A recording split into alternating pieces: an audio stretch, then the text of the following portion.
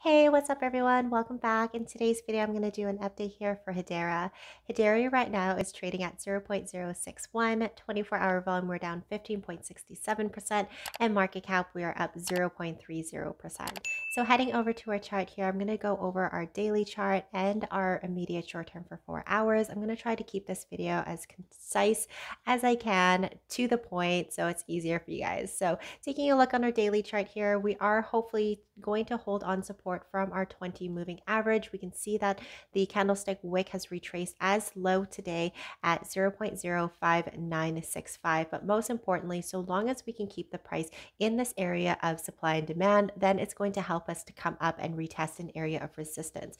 Now, if we take a look at the area of resistance, we can see a few of our candlesticks retracing closer to 0.06225 here. And again, if I scroll out, we are going to see other areas where this price point has treated as a resistance line. Now, the price for the RSI itself is considered to be oversold here at 15% and 42%. It hasn't initiated a buying opportunity on a daily type, so the price itself may continue to come back down as we do see in the MACD indicator a low of momentum. So we can see these green bars, the strength of the momentum itself normally helps us beating resistance lines. However, if we do go from a strong momentum in a bull rally to a red momentum, then we are most likely going to be breaking through areas of support. So if we take a look here, we can see the strong momentum here breaking through as we are coming up to our 50 moving average and retrace as high as 6720 here, which was pretty exciting on October 12th. Now, as the momentum itself dissipated and getting really, really small, price itself was considered to be overbought here on October 14th and initiated a selling opportunity. As price is coming down, we can see the RSI itself is not crossing over or has been considered as overbought. And we can see that the histogram itself is getting lighter in the color. So momentum for the bull rally is soon going to be over. That is only if, again, these bars are getting smaller and we flip from the green to the red.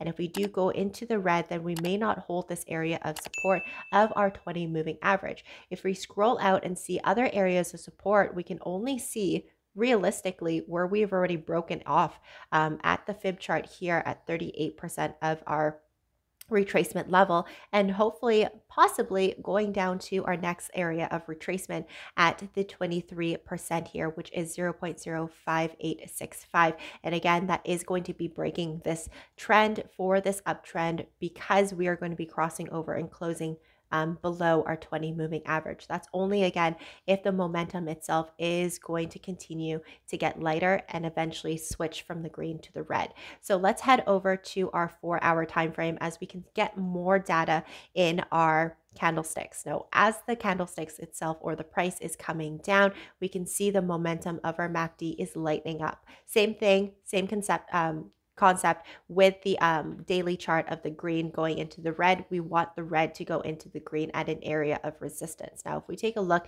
at an area of resistance, really there wasn't a whole lot that we can take a look at. With price itself right here, we can see a few of our candlesticks treating this area as a resistance at 6162. We already see the two peaks of our previous two candlesticks on a four hour time frame. However, we are considered to be overbought here. Now we can see that we are above 80% of a threshold at 86% and 78%. There is still some wiggle room for the RSI to continue up and don't see that crossover initiating a um, selling opportunity, which could be good. However, if we take a look at the candlestick pattern or the candlestick um, formation that we have, essentially this could close into a hanging man candlestick. And the characteristic of a hanging man candlestick is a little body at the very top here, little to no wick at the top of the candlestick, and the wick at the very bottom is twice the size of the body. So it does assemble or assemble a hanging man candlestick, which is an exhaustion of the uptrend, and the sellers may take over and reverse this uptrend itself. And, um, you know, taking a look at where the price is, closer to our 50 moving average, almost touching our 20 moving average and considered to be overbought, price may come back and retrace down.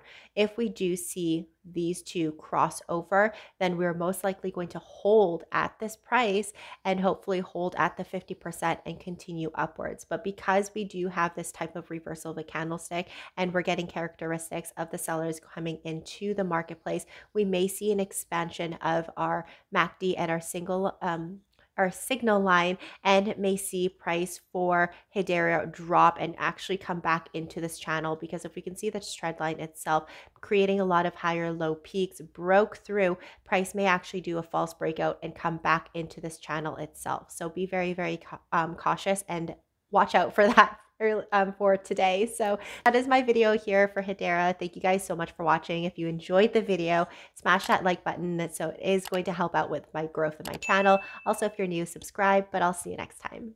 Bye.